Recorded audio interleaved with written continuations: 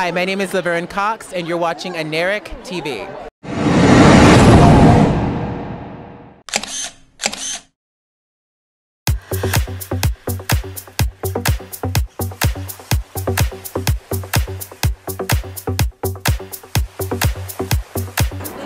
What's your favorite recipe?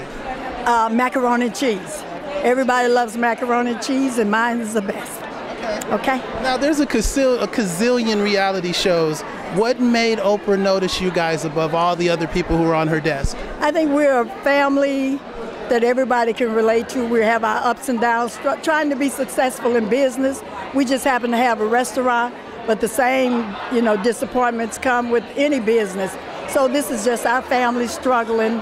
Uh, we kind of help each other, and we believe in second chances at Sweetie Pies, and we hire ex-offenders, and we just all pull together as one big family.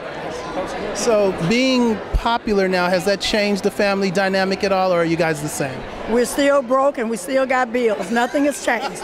All right. I love you. Thank you. Thank you.